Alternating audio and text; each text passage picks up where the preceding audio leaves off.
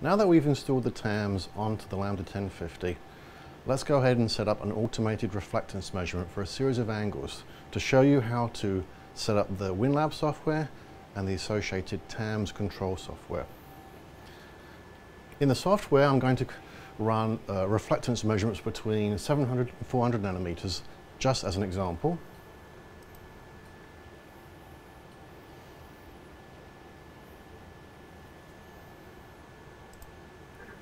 So I'm now running the correction file and I'm going to open the lid while I'm doing that, even though technically that should not be done. This is where we run, this is the configuration. The sample stage is at zero and the detector is at 180 degrees. That's the, uh, the position to measure the weight, uh, correction file before running a sample.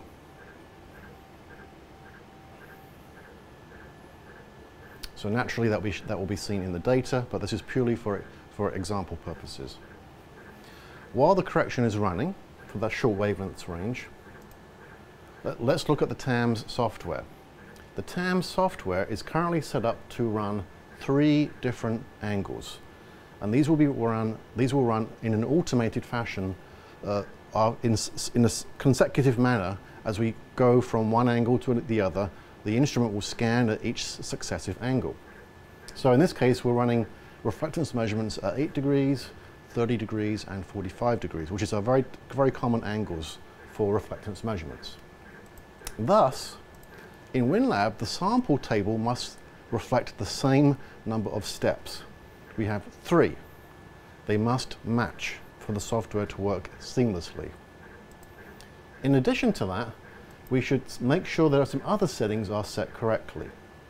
Scans per measurement, in this case, is set to 1. That is to say we are not measuring polarization measurements for S and P orientations. That would double it to 6 measurements. In this case, it's simply 1. Furthermore, we should make sure that the COM port is set correctly so the communication can be done. And for some of the newer uh, TAMS controllers, we need to make sure that the 2018 controller option is turned on. On the older versions, that should be turned off. So we've now run a correction. I can now begin to run the TAMS software. Press Start. The WinLab software is waiting for me to say go. So before I can do that, I need to insert the sample. There are two locations where the sample can be inserted. On top, here, or we can actually move the sample stage up and place the sample between the two jaws. In fact, this is a more robust location for samples, so, so we can remove any, any dip or any, any skew in the sample. But for our purposes, we're going to again simply place the sample here.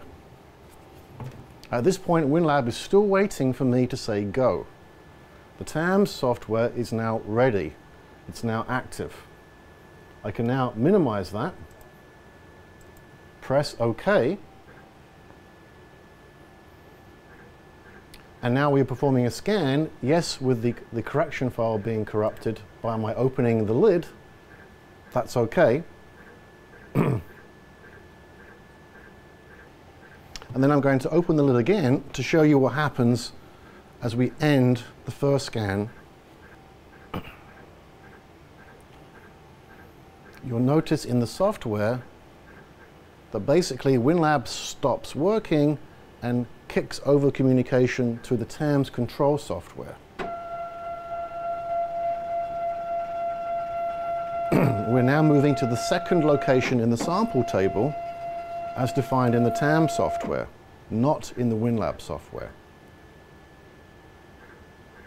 The second scan begins, and then the third will uh, also occur automatically. As you can imagine, we can do dozens and dozens, and in fact hundreds of samples in this way automatically. Thus, running this over a weekend is perfectly acceptable you would come back on the Monday and your data is ready.